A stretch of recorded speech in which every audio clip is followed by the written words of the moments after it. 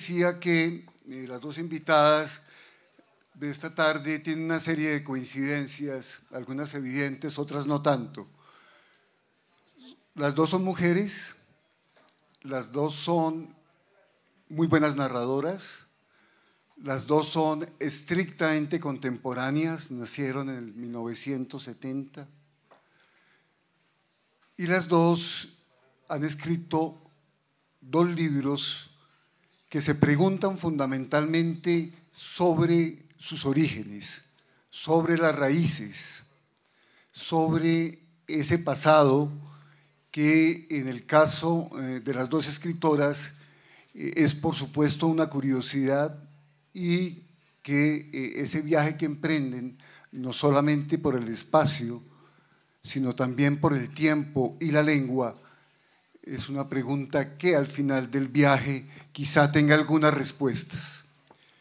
La idea de esta conversación es precisamente preguntarles a ellas sobre la significación que tuvo para ellas ese viaje al pasado, a sus orígenes. Eh, Katia Petrovskaya nació en Kiev, en Ucrania, vive en Berlín. Sovjetunion. Y nació en Kiev, la Unión Soviética, cuando era la Unión Soviética, sí, la aclaración es completamente pertinente. Eh, vive en Berlín, decía, y eh, escribió este libro, tal vez Esther, con, la que, eh, con el libro que ganó un premio muy importante, el Ingenhor Bachmann. Y es un libro que se lee eh, de una manera profundamente amena, quizá muy cercana a un relato novelesco, pero que evidentemente es más un texto autobiográfico carente de ficción, sin ficción.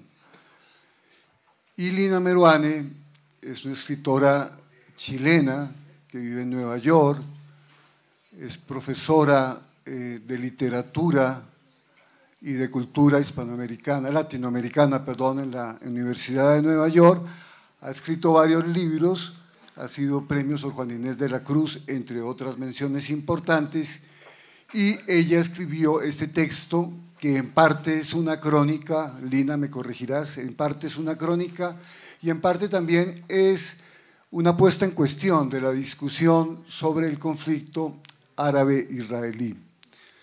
Como se darán cuenta, la historia será tan particular y caprichosa que tenemos eh, a nuestras dos invitadas sentadas en esta mesa, pertenecientes cada una a un sector de ese horrible y espantoso conflicto árabe-israelí del que hablaremos también al final.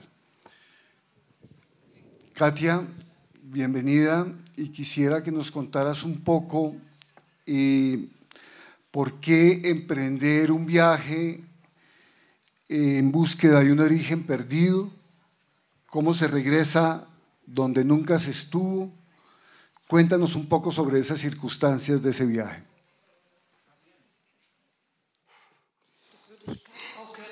Yo también quisiera saberlo.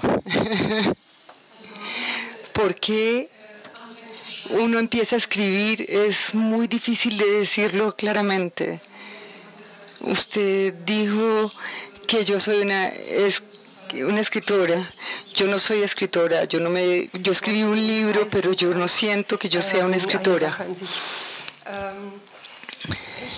Yo tengo, yo estudié literatura y en este, yo crecí en este espacio soviético, me movía entre Kiev, Moscú y Tartu, que ahora es Estonia y es Ucrania ahora también.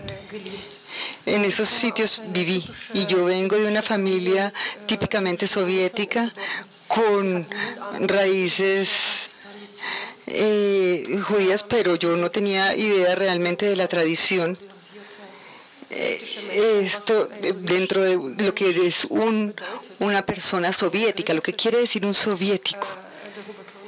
Uwe Korner hablaba de, de, de ese ser. Pero de, pronto es una clase de persona que pertenece a ser un, un acúmulo de de ideas de lo que ha leído y de lo que puede ser.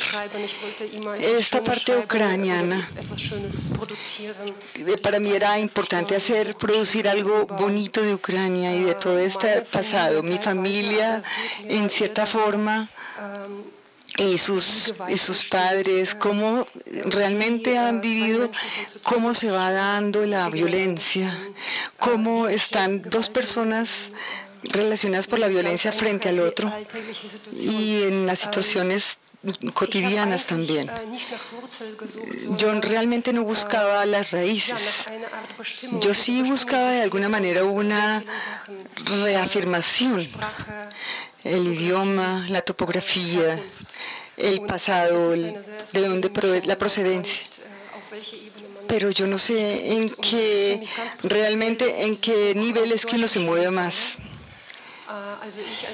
Yo como soviética, digámoslo así, siempre escribí el libro realmente más que todo sobre la guerra mundial, la Segunda Guerra. Y esto tiene toda la, la visión de judía y soviética. Y por eso tengo pues por esa razón podría decirse que entonces yo tendría derecho a ser víctima de toda esta historia, pero de, en la parte de alemán, al escribir en alemán, yo me podía liberar de esa asignación de que yo puedo ser una víctima. Yo quería escribir más libro, más libre. Es un libro sobre la realidad, pero pues lo único que hace realmente de forma de novelar y de ser poética es realmente la parte del alemán, el manejo del alemán, no de la historia en sí. Ahora retornaremos al tema de la lengua que me parece muy interesante. Lina, eh, estábamos ahora escuchando a, a la escritora argentina que dijo algo curioso y que me parece que puede ser un vínculo perfecto en este momento y es que decía que el nombre es, como un rumbo, es el rumbo, ¿no? Y me pareció muy bonito y aparte de eso muy preciso. Eh, cuéntanos un poco de tu viaje a Palestina partiendo de cierta confusión que existió precisamente con tu apellido Meruane.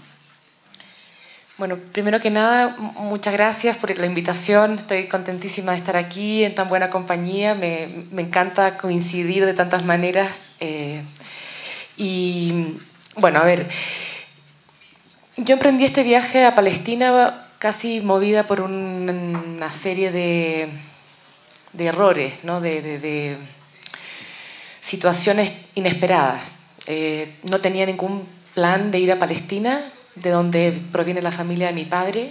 Es una inmigración muy antigua a Chile. Chile tiene eh, la comunidad más grande de palestinos fuera del mundo árabe. Pero así todo es una inmigración muy antigua, muy asimilada como todas las asimilaciones rápidas de fines del siglo XIX y principios del XX. Y entonces yo vivo en Nueva York, en cierta medida soy muy palestina en eso. Los palestinos siempre se andan moviendo por el mundo como una especie de, karma eh, contemporáneo.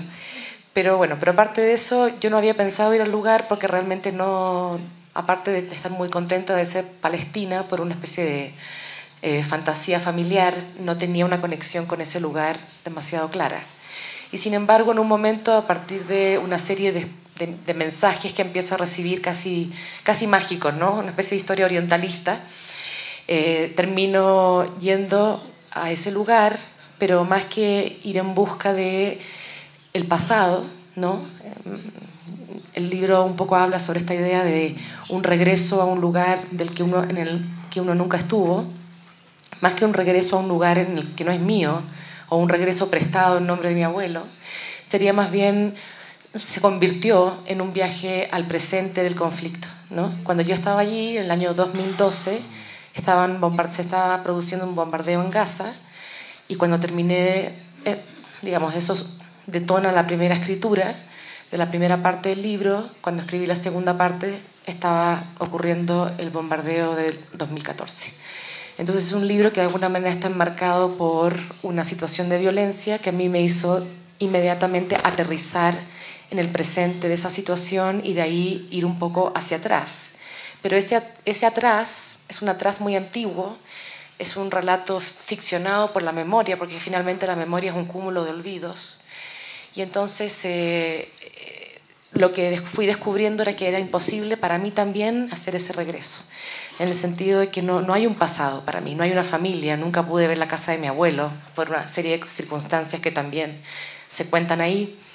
Y, y, para rematar, eh, y, y, tal vez por eso yo subrayé la misma línea de Eve Uger, ¿no? que decía que todo nombre es un rumbo, pues me encontré con el hecho de que no había rumbo porque descubrí que mi apellido no, no existía. Entonces, cuando me encontré con la única persona de mi familia que todavía está allí, lo primero que me dijo es, tú no eres Meruane. Entonces yo pensé que había escuchado mal. Y entonces le dije, ¿cómo? Me dijo, no, tú no eres Meruane, Meruane no existe. Eso por supuesto me generó una especie de crisis de identidad inmediata, porque entonces uno empieza a pensar para atrás y a sentir que está completamente extraviada de alguna manera. Si el nombre a uno lo identifica como uno cree que lo identifica su lengua, todo de pronto estaba en cuestión. Y entonces, eh, chistosamente, ella me dijo, no, tú eres Saba. Resulta que el segundo apellido de mi padre es Sabaj. Entonces yo le dije, ah, por fin, Sabaj, hay como un pequeño error. Y me dijo, no, esos son otros. Entonces fue todo un momento, pero que a mí me sirvió realmente para pensar en las maneras en que nos anclamos a la idea de un origen en una lengua, en un lugar, en un nombre, ¿no? y que en realidad nuestra vida actual no, no, no la podemos anclar unívocamente en nada. ¿no? Y, y, de alguna manera eso se convierte en una especie de centro del relato, porque también mi palestinidad es una especie de palestinidad adquirida, que no viene tanto por la sangre, sino por el compromiso que yo adquiero en ese momento eh, con el lugar, y por eso el libro se llama Volverse Palestina. Katia, ¿tú querías decir algo respecto a lo de los nombres? Yo también quiero decir algo al respecto. Yo también tengo un apellido equivocado, eh, erróneo, pues. Mi abuelo era un revolucionario y en la época de la Revolución de Octubre, si todavía saben qué es eso, la Revolución de Octubre. Yo sé dónde estoy, yo sé. Y él era apellido Stern. Yo apenas me lo vine a saber mucho después, pero no tenía, eh, no tuve crisis de identidad, porque yo siempre creí como Troska de las estrellas, porque Stern es estrella, las estrellas están en el cielo. Esto es, y las estrellas, ¿dónde están? No, tampoco se sabe, ¿no? De alguna manera esas estrellas también para mí eran algo inalcanzable, objetos inalcanzables, y yo realmente no me movía en ese mundo. En algún momento era claro para mí que yo no soy idéntica con, lo, con mi propia historia y yo también puedo escribir, yo también puedo describir mis pasos. Y eso por eso de alguna manera mi historia, lo que llaman la, el pasado o los orígenes, para mí es, en este sentido, realmente el recuerdo de la familia que, se, que viene a tu familia, no existe de esa forma tan firme como los recuerdos sino como lo que vamos descubriendo, realmente lo que nos acordamos de haber vivido. En este sentido, no se trata de la, del pasado, de los recuerdos, sino que es más bien es un intento de percibir lo que se siente y lo que se cree que se es. Estaba pensando, Katia, para que por favor nos, nos, nos des también una respuesta sobre esto, y es que tú... Ich dachte, ich verstehe schon. Invertimos la dirección, sigo contigo y después con Lina.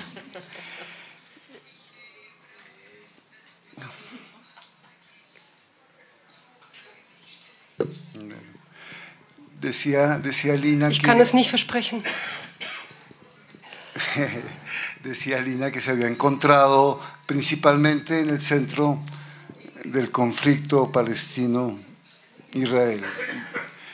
Y entonces me estaba preguntando yo que en- en esa desandar los pasos de tu familia fuiste encontrando eh, a tus familiares, a tus tíos, abuelos, a tus abuelos, etcétera, todos de una u otra manera víctima de las terribles guerras europeas, del estalinismo, del fascismo.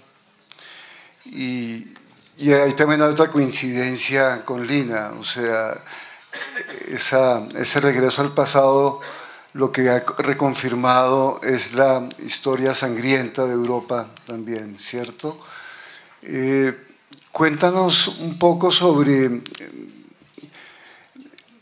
cómo tocó eh, concretamente el estalinismo y el fascismo a, a tus abuelos, a tus bisabuelos.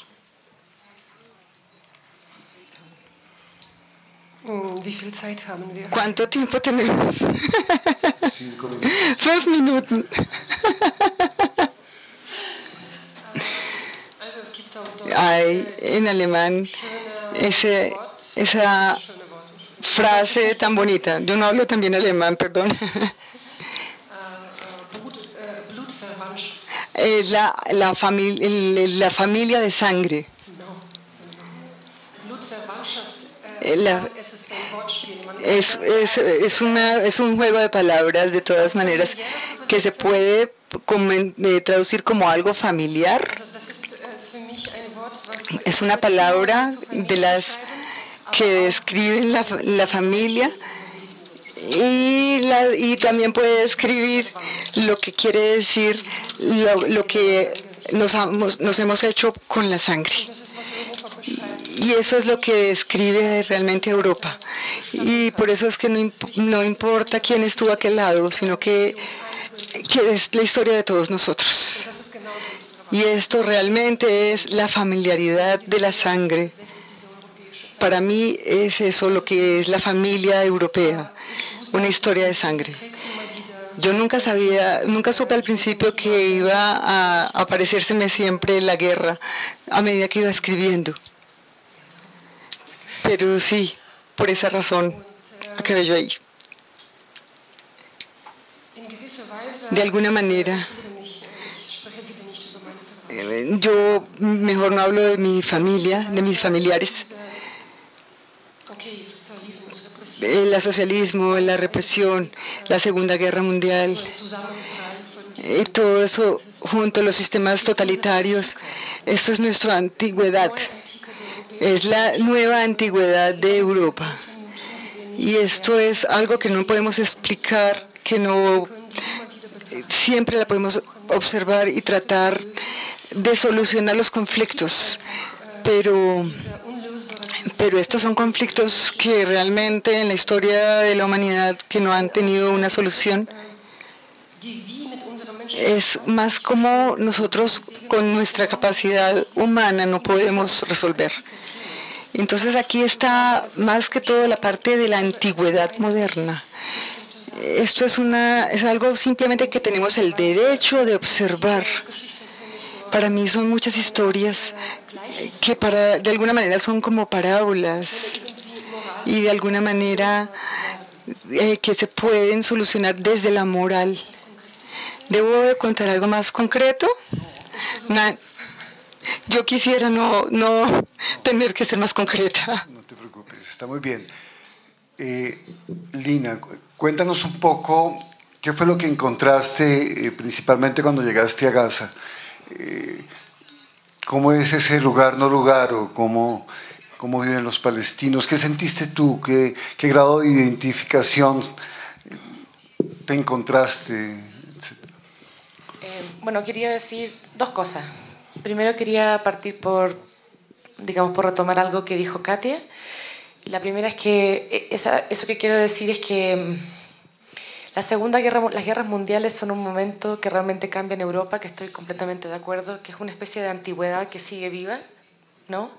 Es el momento en que también para la población palestina cambia el curso de la historia. ¿no? La población palestina había estado bajo el Imperio Otomano primero, luego bajo el protectorado británico, luego parcialmente cuidada por, por, los jordanos, ¿no? pero sobre todo son los británicos que en el momento del holocausto terminan cediéndole el territorio a Israel, con una serie de malos, digo, no, no, no me quiero expresar mal aquí, hubo muchos errores en la manera en que eso se hizo, podría haberse hecho mejor.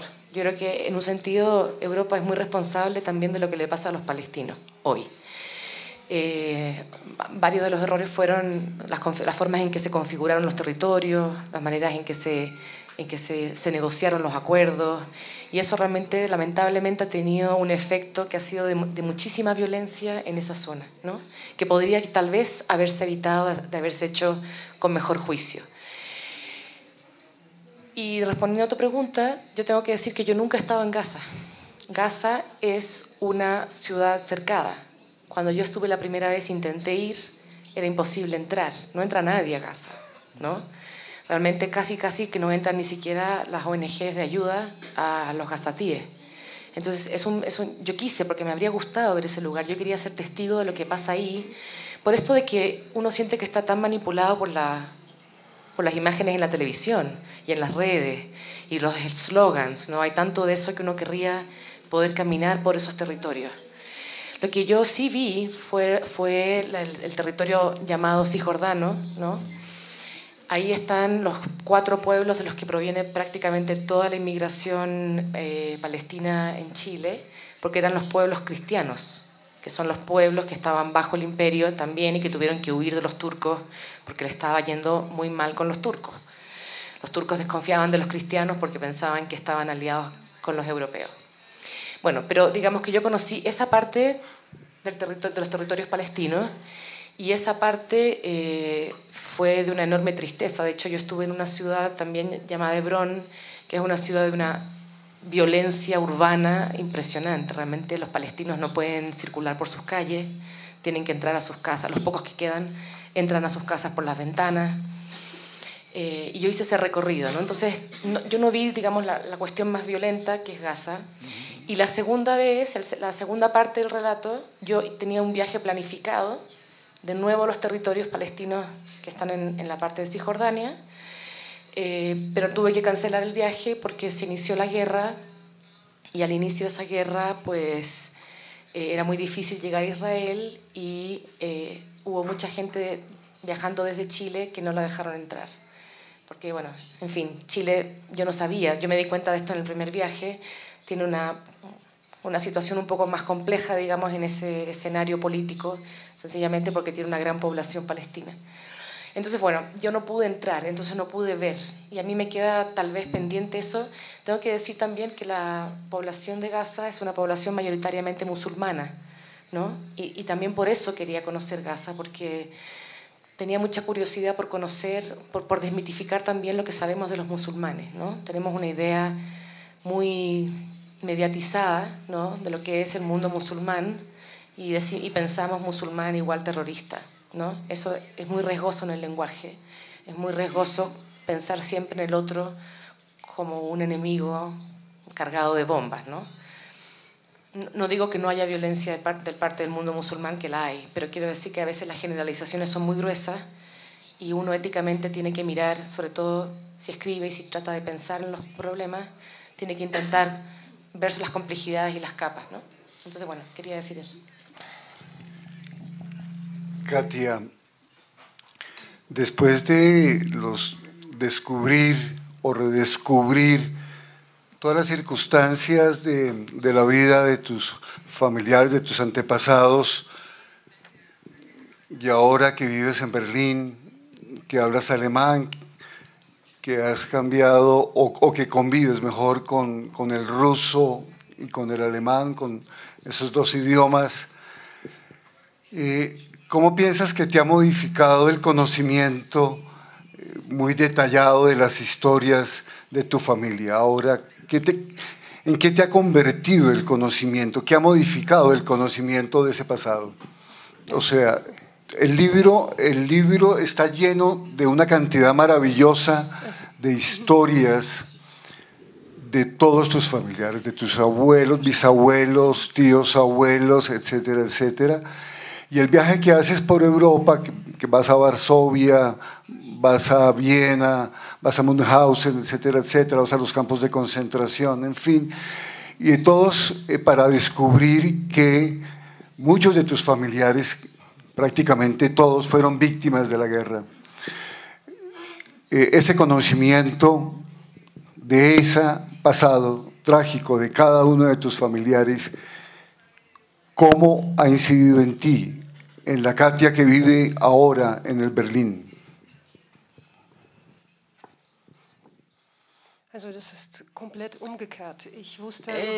Totalmente al contrario. Yo sabía de todos ellos cuando era una niña.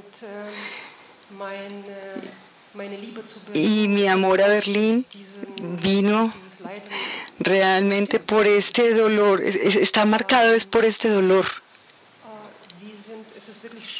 para nosotros es muy difícil, para ustedes aquí es difícil imaginarse la, la generación soviética, cómo la influyó la Segunda Guerra Mundial.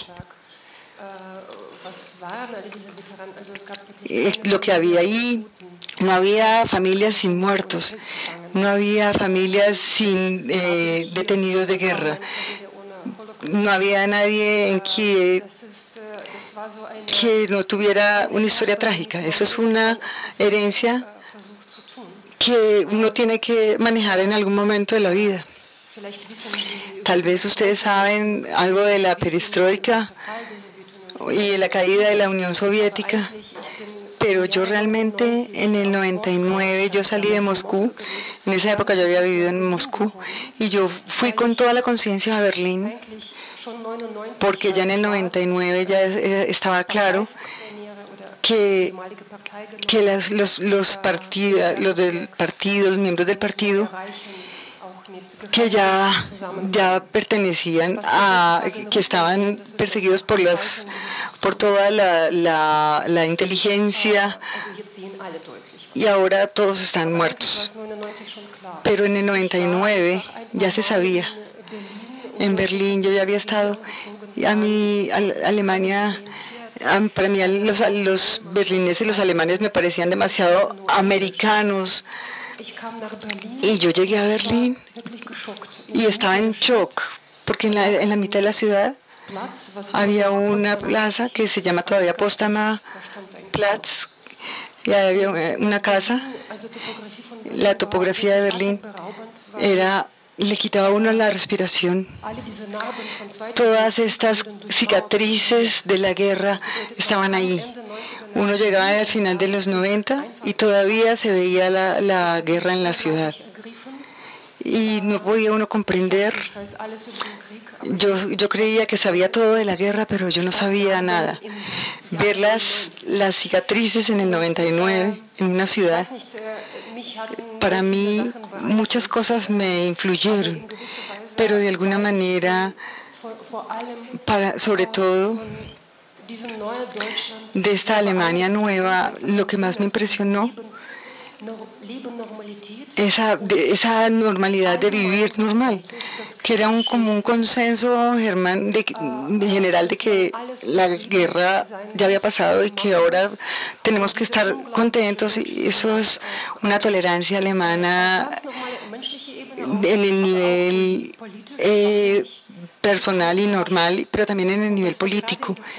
Y eso exactamente en el tiempo en que la Unión Soviética y los seguidores de ahorita en Rusia, y porque Rusia, eso también tiene que decirlo, y porque también la Unión Soviética, eh, porque de todas formas quería monopolizar todo lo de Rusia, lo de Rusia, los logros de Rusia, de la Unión Soviética, y no era así. Entonces, realmente Berlín no era, no era una imagen de la guerra nomás, sino que era, era la cotidianidad aceptando eso. Ahora ver las cosas israelíes, israelí eh, no es la tercera generación. Son, son gente que se siente totalmente europea. Y, y eso es Berlín. Ya no es ayer voy a, me paso un poquitico más allá de la pregunta.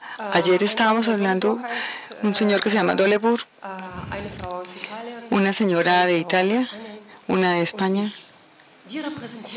todos aquí representaba a Alemania y ninguno tenía un pasaporte alemán. Es un tema muy interesante. Si volvemos al libro, los alemanes se han vuelto Alemania se ha vuelto un lugar muy especial sociopolítico que significa no solo la, la, búsqueda política, sino más allá. Si vamos otra vez a mi libro, lo que para mí era muy importante eh, era unir esas dos cosas, la, el, el dolor soviético de la Segunda Guerra Mundial y la responsabilidad de ese imperio a, los, a las personas individualmente. Y estos, esta nueva sensibilidad alemana que tiene y no tiene culpa. Y yo entre estos dos discursos buscaba una forma de escribir. Para mí era demasiado importante, por eso escribí en alemán, porque el idioma entiende esta búsqueda, porque en la lengua se descubre. Y en esta, en esta lengua me entendí con las palabras. En Polonia, en, en Varsovia. Imagínense que yo crecí en Kiev. Mi papá siempre amó a Polonia. Como un hombre que creció en la Unión Soviética y tenía cierta conciencia de que nosotros, los, el, el, reino, el imperio soviético ruso, y la habíamos partido tres veces a Polonia, y que ahora en el 44 la, el, ejército soviético había, había también tomado a Varsovia. Eso también es parte de mi historia. Yo me siento que soy culpable frente a, a Polonia, porque yo tengo mis culpas como rusa. En, en Berlín cuando vi Polonia, no, no para perdón, ni nada de eso similar, pero yo voy a Varsovia con esa sensación, yo soy rusa y yo soy responsable y llego de, a Varsovia desde Berlín con el idioma alemán. Ya tengo dos eh, idiomas de los ocupantes de, de, Polonia en la época de la guerra. Entonces, primero fue en Polonia, iniciaron primero los alemanes ocupando y después los rusos ocupando Polonia. Entonces yo tenía los dos idiomas. Y yo después busco entonces mis raíces judías con esa sensación de culpa. Es una historia demasiado extraña. Y ahí está la pregunta, ¿quién es la otra? ¿Quién es el otro? ¿Y quién es esta? Y ella habla de la Segunda Guerra Mundial. Pero yo tampoco entiendo qué se puede hacer para encontrar una solución para el conflicto palestino. Yo soy responsable, claro que yo tampoco soy responsable, pero de todas maneras eh, una, una solución práctica realmente no se ve o no la veo yo me duele, pero también es una construcción muy difícil porque está hablando ella de, cuestiones demasiado eh, actuales y que son demasiado brutales. Aunque ahorita en Ucrania acaba de reventar algo y me siento muy extraña con mi libro también porque yo nunca podría haber escrito un libro si ya hubiera empezado esa, ese conflicto en Ucrania. Estabas, por favor. No, solo quería decir que, que, en realidad, no puedo hablar mientras escucho alemán. Eh, no, quería decir que en realidad es que son, son libros incómodos, son situaciones muy incómodas, difíciles, en las que de alguna manera uno intenta decir algo, pero también uno, yo pensaba mientras hablabas que uno no se puede hacer responsable de la historia, porque la historia es demasiado grande, no sobrepasa que tal vez lo único que nos queda es un poco reflexionar sobre lo que está pasando y de alguna manera intentar que los otros al leer reflexionen un poco con nosotros, se acuerden de la historia que también se olvida, ¿no? Y, y, nos, nos, haga estar pendientes de lo que está pasando y entender los conflictos actuales a partir de lo que pasó hace muchísimo tiempo, pero que todavía los conflictos de hoy están tan ligados con los conflictos de hace, no sé, que se vienen desarrollando por lo menos desde hace un siglo.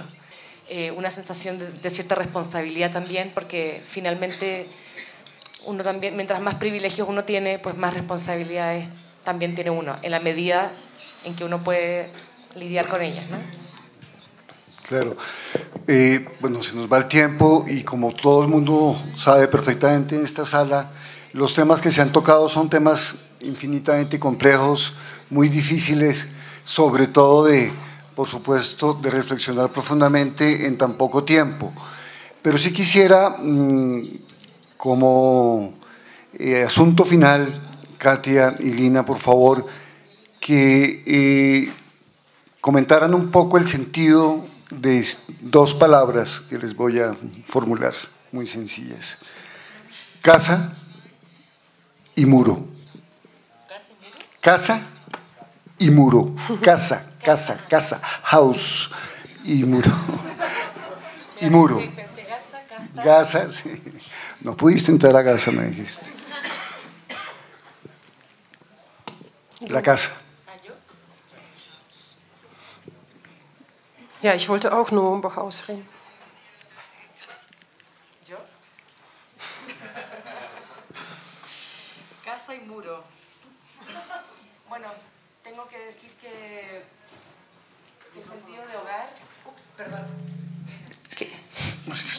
Que el sentido de hogar o casa. Qué confusión, por favor el sentido de casa o hogar para mí son, son complicados porque hay, hay demasiadas casas para atrás. De hecho, el libro está casi puntuado por una búsqueda de lugares que son casas.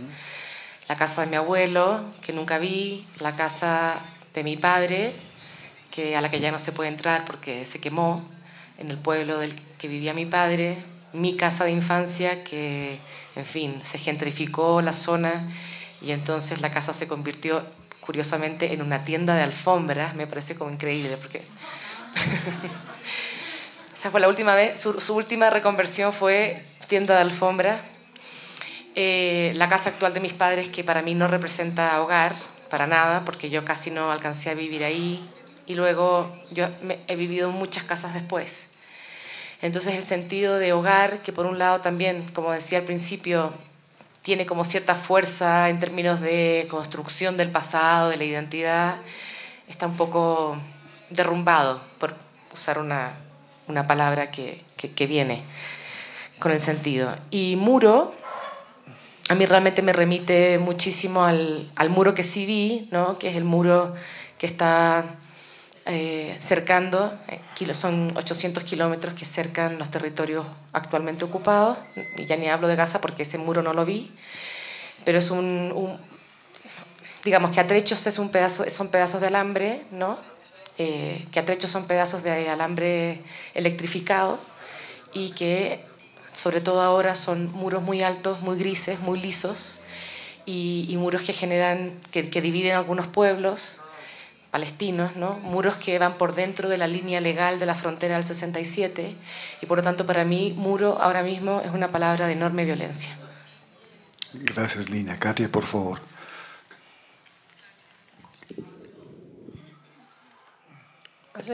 En mi libro se trata más de la búsqueda de una casa. Yo empiezo en, el, en la estación de Berlín y camino, viajo hacia el oeste, hasta el este. Y esto va describiendo la topografía. Pero la, la, única casa que tal vez tenemos es el, el, el tren. El libro termina con la casa donde yo nací, en el centro de Kiev. Esta casa nunca fue importante para mí. Allá viví tal vez tres años. Allá vivió mi abuela y mi mamá. Y hay muchas casas. Yo, yo busco como loca una casa en el, en el gueto de Varsovia. En el 905 fueron, mi familia se fue para Kiev de Varsovia. En la Primera Guerra Mundial se fueron a Kiev y por eso hay otra historia. Ya no estábamos ahí cuando inició. Sin embargo, la casa donde en, el, en 1905 donde nació la quería buscar. y eso fue eso era buscar en un mundo perdido porque el gueto de Varsovia donde estaba el porque donde está donde estaba el gueto ahora solamente hay bancos. Yo sabía por ejemplo la dirección eso sí fui Busqué muy largo y con la ayuda de historiadores la encontré. Encontré una foto de 1940. Había muchas personas y todos con la estrella amarilla. Y una curva me lleva entonces a mi madre. Sí, eso es muy maravilloso que tú encontraste ese sitio, pero el número de la casa eh, no era el que yo te había dicho. Yo, para mí esta casa ya la había encontrado y esa era mi historia. Entonces, aunque mi familia ya no era de Polonia, entonces me pregunto es, ¿qué es una casa y a quién le pertenece? Y cuando ya encontré el número, eh, un número correcto, y eh, era de la casa de al lado y también estaba de todas formas en la misma foto. Esa es la pregunta de qué hace esta búsqueda. Es una reafirmación espiritual para aclararse lo que uno es. Y mi libro realmente termina, y esto realmente es la historia de la hija perdida. Entonces, usted sabe que es la parábola del, del, del hijo eh, pródigo. Exacto, pero esta es la, la hija pródiga. Gracias.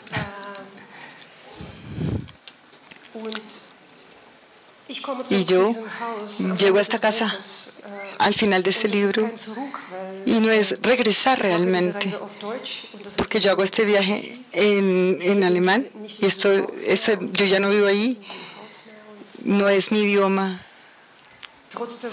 A pesar de eso, esta curva se, da. Mire, la, calle, yo el libro lo escribí en el 13, en el 13, en el 14, 100 personas fueron asesinadas al frente de la casa de que yo escribí. Por eso es que yo digo que eh, yo no hubiera sido capaz de escribir ese libro si hubiera empezado ya lo de la guerra de Ucrania, por lo de mi casa.